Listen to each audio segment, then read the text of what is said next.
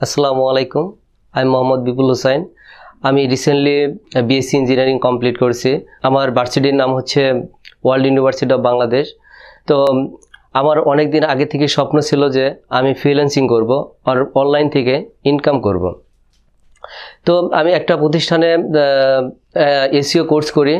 সেখান থেকে আমি এসিও সম্পর্কে আহ, মোটামুটি বেসিক ধারণা এবং কি অ্যাডভান্স লেভেলে কিছু ধারণা পেয়েছিলাম। কিন্তু তারপরে আমি তখন চিন্তা করলাম যে আমি এখনও পুরোপুরি ফিট না যে একটা সাইট র্যাঙ্ক করাতে পারব বা আদার যে কাজগুলো করতে অপটিমাইজ করতে হবে কাজগুলো, আমার ফুল জানা ছিল না। আমার কোর্স টিচার ছিল উত্তম কুমার স্যার তো আমি স্যারের সাথে একটা পর্যায়ে কমিউনিকেট করি। স্যার তখন আমাকে বলল যে, ঠিক আছে, আপনি একটা সময় আমার সাথে মিট করেন। তো আমি স্যারের সাথে একদিন মিট করলাম। তো এই বিষয়ে অনেক আলোচনা হলো। স্যার বলল যে হ্যাঁ আপনি যদি এসিও সম্পর্কে আরও নলেজ গ্যাদার করতে চান সেই ক্ষেত্রে আমাদের একটা প্রজেক্টের কাজ চলতেছে। আপনি চাইলে সেখানে জয়েন করতে পারেন, সেই টিমের সাথে।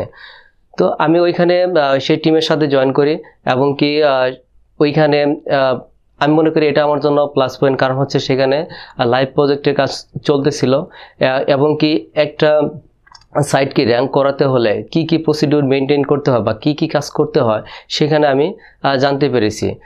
এটা on page R off page A to Z তো, আমি তারপরে আরও এক মাস সময় পেয়েছিলাম আরও দুইটা প্রজেক্ট লাইভ প্রজেক্টে কাজ করার জন্য। তো লাস্ট পর্যায়ে আমি স্যারকে বললাম স্যার, আমাকে একটা জবের অপরচুনিটি করে দিলে ভালো হয়। তো উনি আমাকে বলেছিল যে, ঠিক আছে, আপনি আমাকে একটা সিবি দেন, আমি ট্রাই করব আপনাকে একটা ভালো জব ম্যানেজ করার জন্য। কারণ স্যার জানে যে হ্যাঁ আমি যদি এখন কোনো প্রতিষ্ঠানে যাই বা কোনো প্রতিষ্ঠানে কাজ করি ইনশাল্লাহ আমি কাজ পারব। তো সেই জন্য উনি আমাকে একটা কোম্পানি কোম্পানিতে রিকমেন্ড করে দেন সেই কোম্পানি আমাকে দুই, তিন দিন পর ফোন করে। তারপর আমি সেই কোম্পানির সাথে কথা বলি। কথা বলার পরে ওনারা আমাকে ইন্টারভিউর জন্য ডেকেছিল।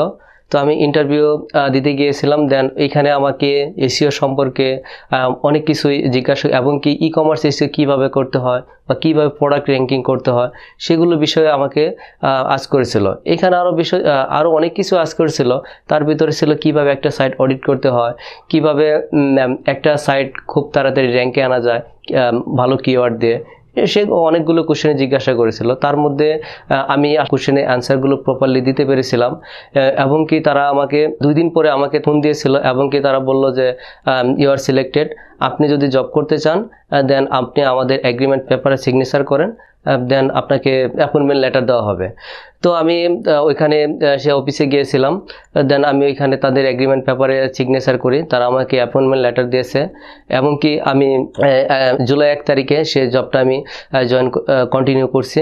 তো আশা করি জবটি আমার জন্য খুবই খুবই একটা প্লাস পয়েন্ট কারণ হচ্ছে জবটি আমার খুবই দরকার ছিল এই মুহূর্তে। তো আমি এই জন্য আমার প্রিয় স্যার উত্তম কুমার স্যার, আমি প্রতি অসংখ্য কৃতজ্ঞ।